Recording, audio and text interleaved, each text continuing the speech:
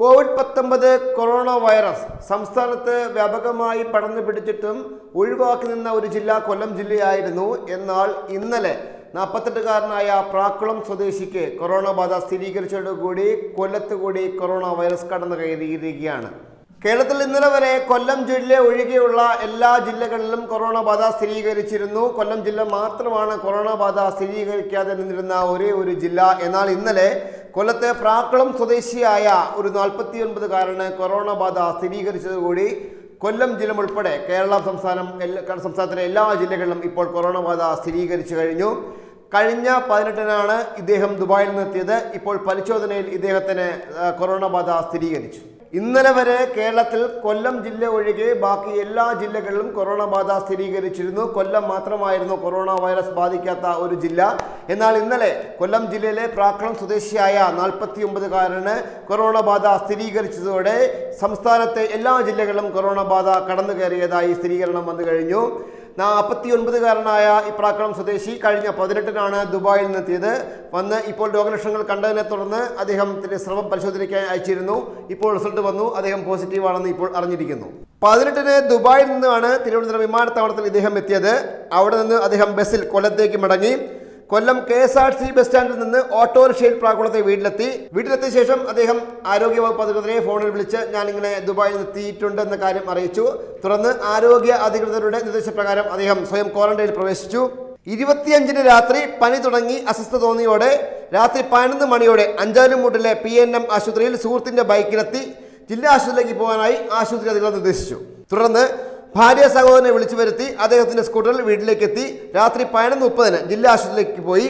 കൊല്ലത്ത് നിന്ന് ആംബുലൻസ് വരുത്തിയാണ് പോയത്. സ്ഥലത്തെ ജനപ്രതിനിധികൾ അഞ്ചാലമൂട് പോലീസ് സ്റ്റേഷനിലെ രണ്ട് പോലീസുകാർ തുടങ്ങിയവർ ചേർന്നാണ് ഇദ്ദേഹത്തെ ആശുപത്രിയിൽ കയറ്റിവിട്ടത്. ജില്ലാ ആശുപത്രിയിൽ ശ്രമം പരിശോധനയ്ക്ക് ശേഖരിച്ചു. സംശയം തോന്നി ഇവിടെ നിരീക്ഷണത്തിലാക്കാതെ ഇരുപത്തി ആറിന് പുലർച്ചെ മൂന്ന് മുപ്പതോടെ വീട്ടിലേക്ക് തിരിച്ചുവിട്ടു. ആ പരിശോധന ഫലമാണ് ഇന്നലെ വന്നത്. അദ്ദേഹത്തിന്റെ റിസൾട്ട് പോസിറ്റീവാണ്. അങ്ങനെ കൊല്ലം ജില്ലയിൽ കൂടി ഒരാൾക്ക് കൊറോണ രോഗം സ്ഥിരീകരിച്ചിരിക്കുകയാണ്. ആ പരിശോധന ഫലമാണ് ഇന്നലെ വന്നത്. ഉടൻ തന്നെ അദ്ദേഹത്തെ മെഡിക്കൽ കോളേജിലേക്ക് മാറ്റുമെന്ന് അധികൃതർ അറിയിച്ചു. ഇതിനിടെ ഇടുക്കിയിൽ കൊറോണ രോഗം ബാധിച്ച ഇസ്മായിൽ അദ്ദേഹം ഒരു പൊതുപ്രവർത്തകനാണ്. അദ്ദേഹം എല്ലാവരോടും മാപ്പപേക്ഷിക്കുന്നതായ ഒരു പ്രസ്താവന ഇന്ന് വന്നിട്ടുണ്ട്.